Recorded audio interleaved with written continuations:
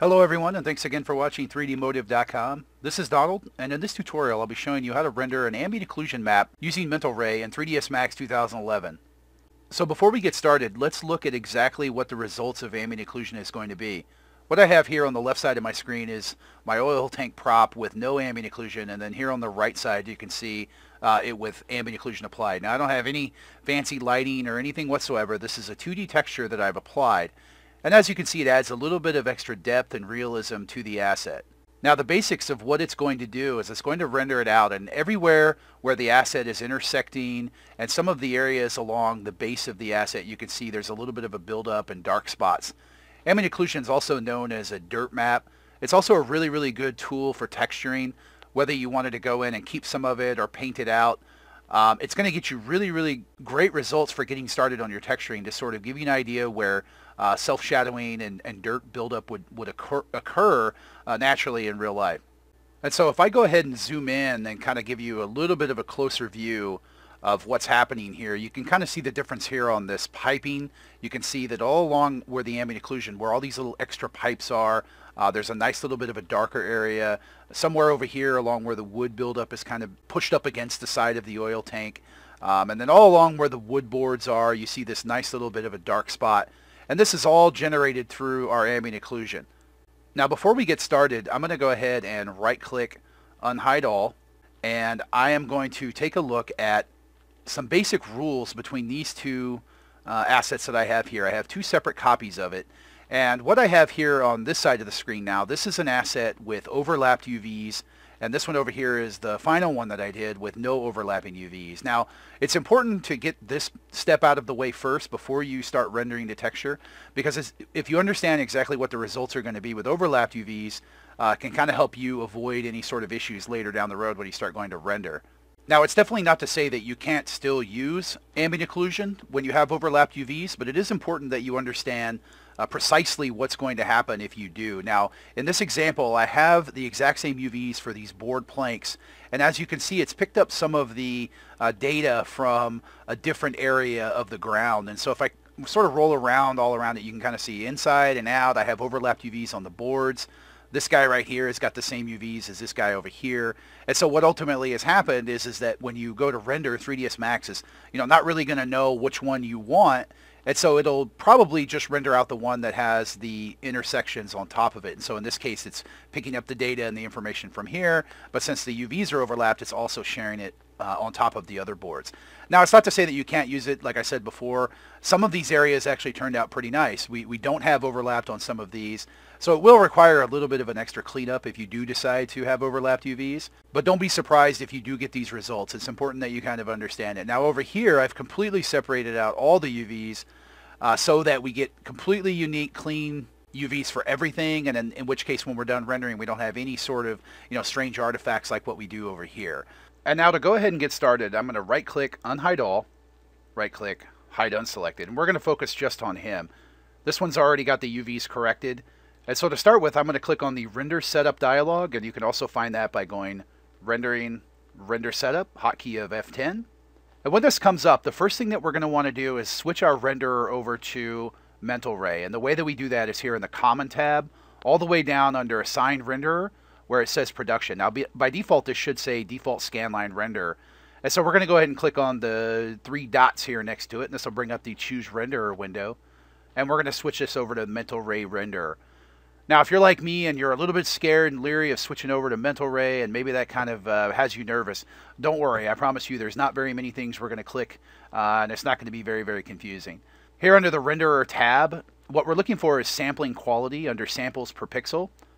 And there's sort of a general standing rule where the more you throw at it, the, the higher the quality it's going to be, but it is going to take a lot longer to render. Now, there are entire books and volumes based on rendering and all sorts of stuff that, you know, go around Mental Ray, and I'm not going to get into a lot of specifics of it. But essentially, samples per pixel will generally, a lower amount like this is not normally going to be too bad, um, and you can crank that quality up to about 1. Um, and then the maximum quality up to four is usually a pretty good starting point. Sometimes I don't even alter it, but uh, that's just one little setting that you may want to kind of play around with the the lower the quality, the more grainy it may look, and it, it may not look like it's uh, giving you exactly the results that you want. So so play around with it and see to find a setting that you're comfortable with. And that's pretty much it. We can go ahead and close this window for now. And the next part of the process is to bring up the render to texture dialog. And you can do that from going rendering, render to texture with a hotkey of zero. And with your object selected, make sure you have your object selected. You should see it here uh, listed under the uh, objects to bake. Now we don't really need to worry about the general settings for right now. The objects to bake, really all we're looking for here is make sure uh, that our asset is listed. Um, we're not doing any projection mapping, so we need to make sure that that stays off. Under mapping coordinates, the most important thing is that under use existing channel, this says channel 1. Now we're going to go ahead and under output, right over here, we're going to, right now it's empty, so what we want to do is we want to click on add, and we want to add an ambient occlusion MR. It's down here at the very, very bottom. MR stands for mental ray, and since we've already got our um, mental ray renderer set up, it's going to detect that. So the next step that we're looking for is under file name and type. And what you want to do is you want to click the three dots to open up a directory. And this is a very important step. Make sure that when you click this and you go to actually save out your asset, you know exactly where you have saved it. And, and, and I'll show you why that means, why that's important uh, here in just a few minutes. And so if we go ahead and save this, I'm going to call this uh, prop oil tank 01 underscore final AO. And I'm going to use this as a target, target image file and go ahead and hit save. 24-bit uh, is fine. We don't need alphas or anything along those lines. So just go ahead and hit OK. And so one other thing that we're going to look out for is here under element background is if it's not set to white, I like to keep mine uh, white colored. And that just basically means that everything outside of the UV shell uh, when we render our texture is going to be white. And I'll show you that in just a second when we bring up the rendered ambient occlusion. We also, next, we want to make sure that our file size is correct, that the, you know, whether we're doing this for a 512 or a 1024, this will obviously, uh, you know, depend on whatever it is the texture size is that you're intending for your game asset.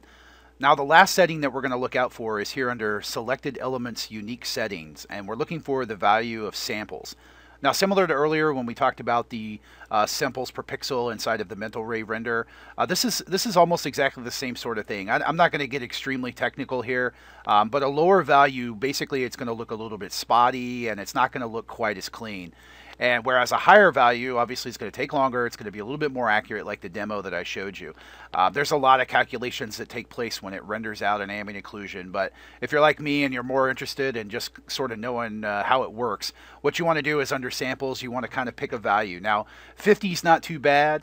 Uh, 16 by default is almost nothing. You're, you're going to get almost no ambient occlusion whatsoever.